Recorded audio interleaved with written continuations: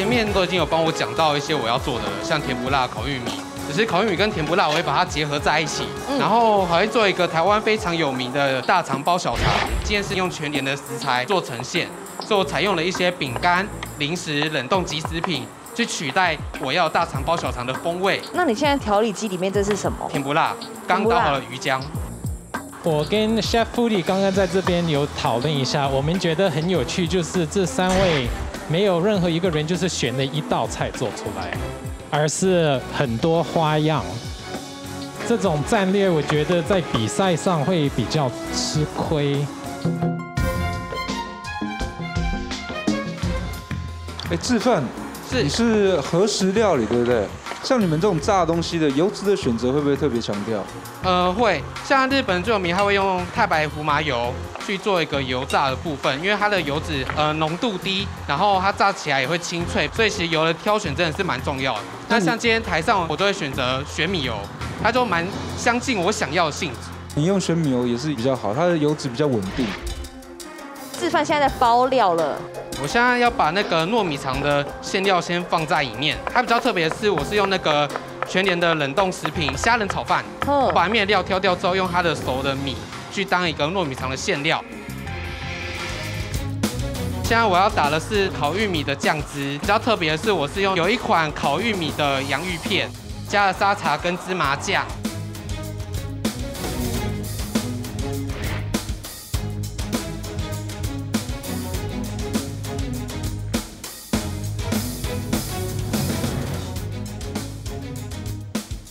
现在我正在炸鸡翅，给它炸完之后，我要再用苹果木、威士忌橡木桶的木屑跟泥煤去做一个热熏的动作。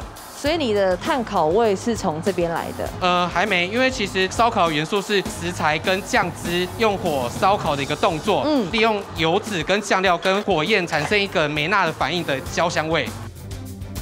Fred，你认为泥煤是好的味道，可以加入在菜里头吗？它是一个很特殊的味道，所以喜欢的人会非常喜欢。所以好像是鸡拌倒了，然后脸粘在那个泥巴里头的吗？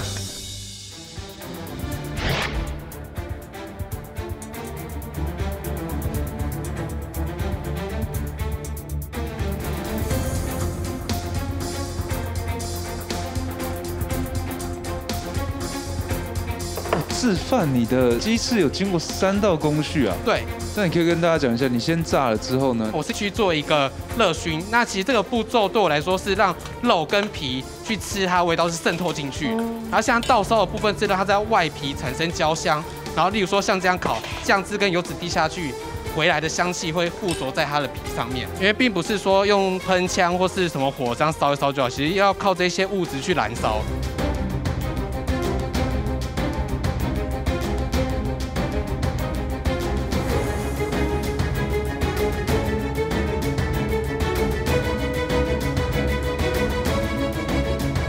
有洗八刀啊！哎，吃饭真的是出头就贼。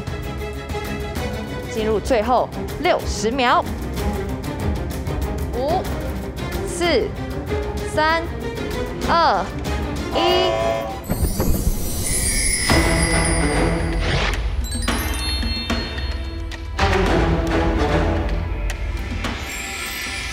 湾烤肉是大家最熟悉，所以我就用了大肠包小肠，用二节式取代肠衣的部分。甜不辣跟烤玉米都是我们台湾很著名的一个烧烤料理，用了烤玉米的洋芋片做出一个酱汁，再加上用倒烧的方式去呈现，因为它融入了甜不辣，所以它又有带了甜不辣的 Q 跟香气。大肠包小肠，我觉得有点淡。你有那个泥煤味是不是？对，对我就我只有吃到那个味道了。烤玉米甜不辣，有点清淡，就是烤味不足。除此之外，在料理过程当中，你传达那个讯息都是呃让人非常惊艳的。自然两个东西烤出来都有烤的味道，但是在甜不辣那一块，我认为说你的 Q 没有，我只吃到也软软，可能是。鱼浆或是你加的那个饼干什么，让它口感没有让我吃到它的 Q 度。你的鸡翅外面的味道排很香，非常好，但是里面的馅可能是一个白饭而已，没有特别的香味跟特别的咸味在里面。你今天是唯一一位用陶器来熏东西的，唯一这只有你吃到平气的味道的，所以是是蛮不错的。但是炒饭它的 seasoning 里面跟外面有一点点没有搭在一起了。那假如说搭在一起，它会更跳动、更好吃。志凡，我觉得你是烟的元素控制的最好，对我来讲。鸡皮上面因为是有脂肪，它更可以吸收烟的不同的味道，而且你配的甜度，两个其实是搭配是非常好。我很喜欢你的概念，就是很完整的，是想过的，有考究，是很成熟的，有一些比较特别的方式来，好像在跟我们玩游戏。唯一的呃玉米，如果是这样子稍微老一点的，我也许会把它剁碎一点，或是呃里面的好像脂肪不够，所以会觉得有一点干的口感的感觉。但是整体来讲是搭配。我必须说，吃饭是到现在，我觉得它是最用心的。盘色上面，或者是在料理上面，甚至在料理知识上面，它的传达是非常清楚的。但是你的小缺点，我觉得你的技术上面还少一点点，在调味上面也少一点点。但是我很喜欢用心，因为我觉得每一道菜没有绝对。但是你如果知道怎么样去用心，我们都会非常欣赏这种态度。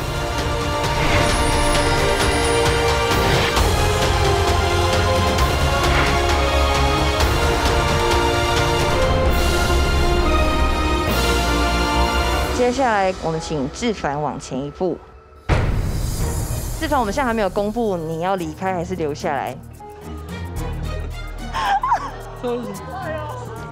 说真的，我从一路走来，我其实是输到现在，我都一直被待定又救回，然后我签运又非常的差，嗯，一直对上燕硕，你看燕硕不败之王，对，好讨厌，然后又碰到珍珍，然后接下来又遇到甚至学长，天哪，哇，都是高手，我想说 真的很坎坷，我自己觉得啦，但是我真的就是尽力了，尽力尽力而为，然后我也没想过，其实我会到六强，就是我已经觉得很足够，很满足，对。你要继续坎坷下去，因为你要继续比下一轮的比赛。恭喜志凡！恭喜！今天的主题是环游世界，总共一个小时的时间，要做出五道料理。问一下志凡，心情有平复了吗？有有，比较平复。六十分钟的时间计时开始。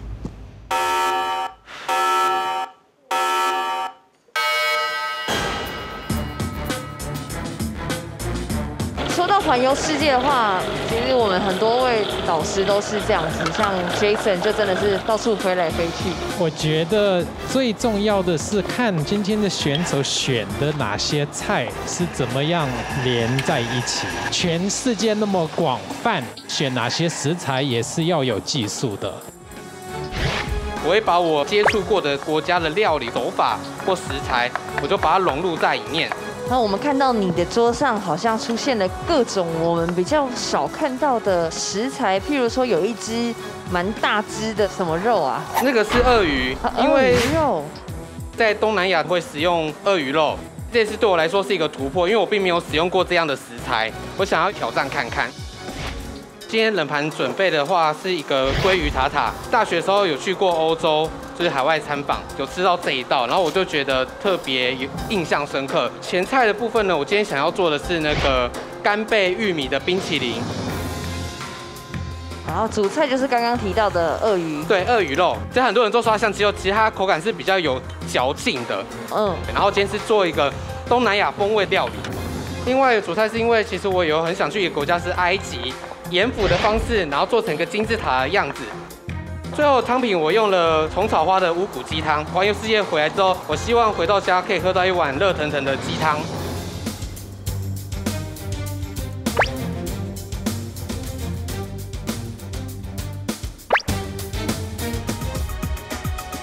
然后现在志凡在叠他的金字塔。你研发是加水还是蛋白？我是加蛋白，蛋白是不是？还有加其他香料吗？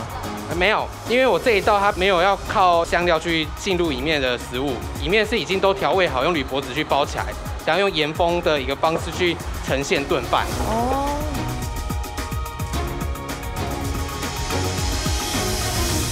志凡，你现在在处理什么肉？鳄鱼肉。会做这道是因为上次从晶晶学姐那边学到一些东南亚的料理，因为我就觉得一路走过来，就是你有学到什么就把它利用起来。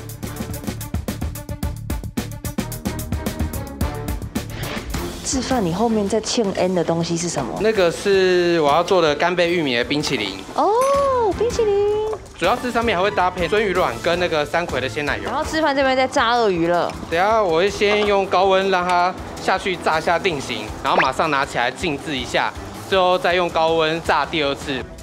提醒一下各位，因为时间看已经有人做好菜了，记得你的一些基本的东西。因为刚刚其实我觉得第一局的时候，很多菜都很好吃，但是就是少一点点盐巴或者少一点点调味，它就跳不出来。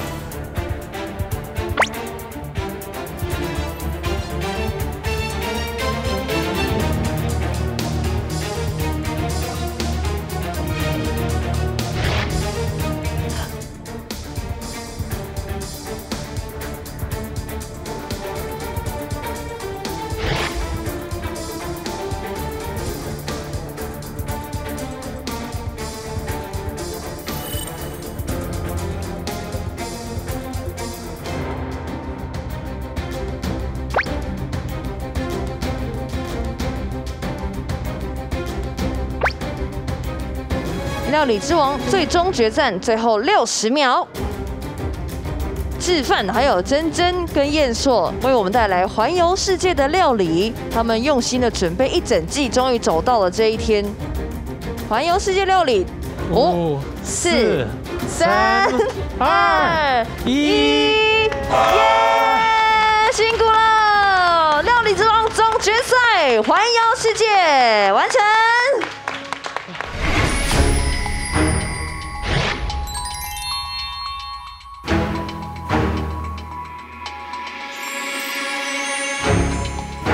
菜干贝玉米冰淇淋，里面的话它是用那个生干贝、玉米，还有牛奶跟鲜奶油去做一个冰淇淋的底，上面再搭配鳟鱼卵跟三葵的鲜奶油。熏鲑鱼塔塔可以把旁边的那个海苔脆片剥开，跟那个塔塔挖着一起使用。炸鳄鱼的部分，那我是做一个东南亚的风味。盐腐的部分里面是用一个炖饭，或者是把它用成盐封的概念，然后把它在里面焖熟。汤的话就是用虫草花的乌骨鸡汤。OK 啊、志凡，你开胃的那道菜真的是很让我惊艳，这个搭配吃到嘴巴里非常好吃，所以恭喜你这一道菜。Salmon，你的 ceviche 等于是有美奶汁的，我觉得也蛮成功的。我是差了一点点的酸度。然后呃，alligator，有些人会说，也许它太老了或是咬不动，但是我的感觉是你搭配的酱料可以一直嚼在嘴巴里，是味道一直扩散，所以我蛮欣赏的。最后你的汤鲜甜那些菇类还有其他的放在里头的比率都非常准，所以真的是好像绕了一圈世界回到家，喝到很温柔的一碗汤。我今天唯一有给个二十分的，就是你的那个冰淇淋。有一点可惜的就是你的金字塔，用盐巴烤东西，它最好的效果其实要盐巴碰到吃的东西，所以它才会把水分拉出来，你才会甜，才会香，才会什么的。反正那个玉米冰淇淋就是很好吃，就是 了。好，谢谢。谢谢你。我跟前面两位老师一样，我一吃到冰淇淋之后就惊艳。你整道菜让我最深刻的就是那冰淇淋。再来就是炸鳄鱼啊，因为鳄鱼其实它比较韧性比较强，比较耐嚼。我的想象是可以稍微再切小片一点，其他的部分我觉得都很棒。今天的菜的味道都有做出来，我还是喜欢那个冰淇淋，跟他们前面的一样，那个冰淇淋真的好吃。其实我觉得你给他大家的印象最深刻就是你在盘饰上面的讲究。那我觉得我在吃你那个金字塔的时候，虽然外面看起来很像金字塔，但当我们一敲开的时候，其实里面的东西其实是你自己。我们吃的就是一个亚洲味的东西在里面。这个是包覆一个梦想在外面，而你实体在里面，所以我觉得这个意象传达的非常的好，所以我非常喜欢。恭喜第二名是我们的蔡志凡，我们要直接来颁发第二名志凡，超级赞的，一路很坎坷，比到后来你拿到第二名了，我们请全先生帮我们颁奖。亚军也有十万元，由全联福利中心提供的奖项，谢谢全联先生。嗯，对啊，还没，我也我也不会哭，对啊，因为我对自己真的是很没自信。会来参加这个是觉得说，我总是有一天要去做一件突破自己的事情，在这过程，其实我很谢谢，就是料理之王二的各个选手，我很高兴认识大家。你恨死大家了，没有很高兴认识大家，吓我一跳。因为其实我也不是一个很善于说是 哦，去主动的去交朋友。嗯，跟大家相处的时候，我真的觉得非常快乐，也跟大家学了很多。其实，在这一路上，包括像我们左右为难，我也很谢谢你们，你们都会一直给我鼓励，然后也谢谢各个工作人员，然后也要谢谢我的家人，就是一直支持我。加油，你很赞啦哈。